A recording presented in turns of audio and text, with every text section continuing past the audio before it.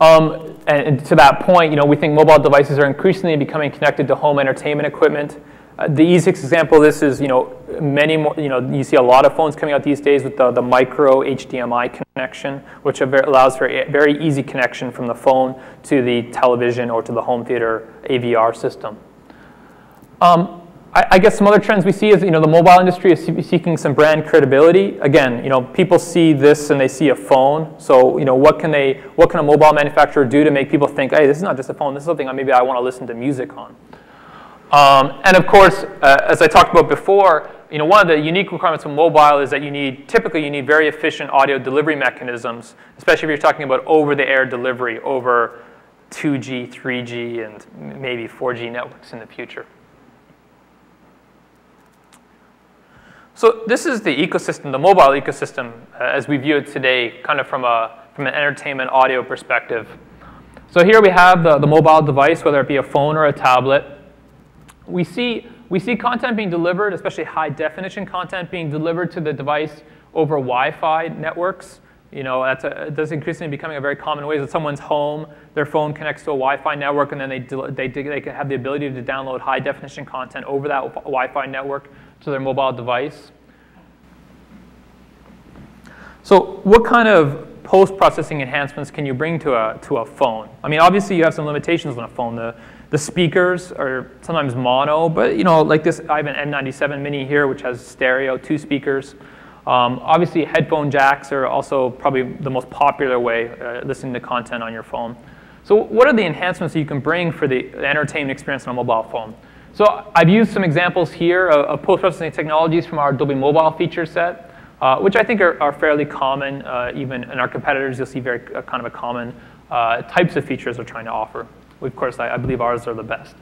Um, you have mobile surround. Uh, so mobile surround is, is a virtualizer. So a virtualizer is, um, you know, you take two-channel content or five-channel content, and you, you create a virtual surround sound experience using any set of headphones.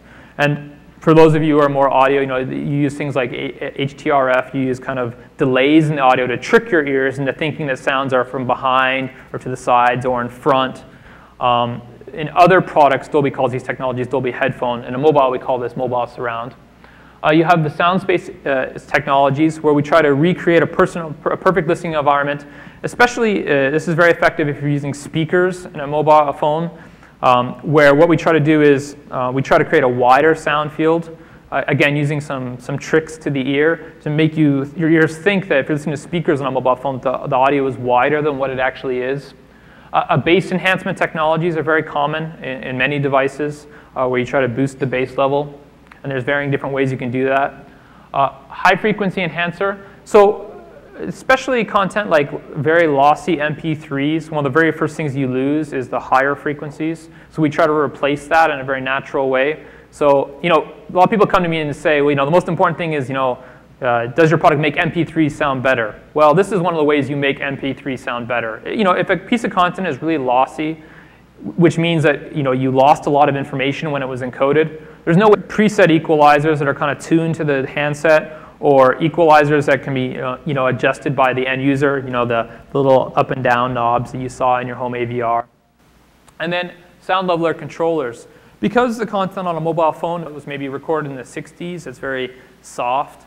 Then you listen to the next song and it's recorded in the 2000s, it's really loud, and so you're constantly changing the volume on your mobile phone.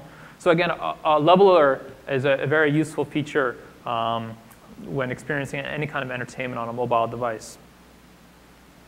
Things like, uh, remember before I mentioned things like container support. So we, we, we offer, make sure you, that those features are very robust. And then we add in the decoder support uh, in Dolby Mobile 3, which is Dolby Pulse, and then Dolby Mobile 3 Plus, Dolby Pulse, and Dolby Digital Plus. Uh, again, we see the phone as becoming more of an HD device, so Dolby Digital Plus is very important.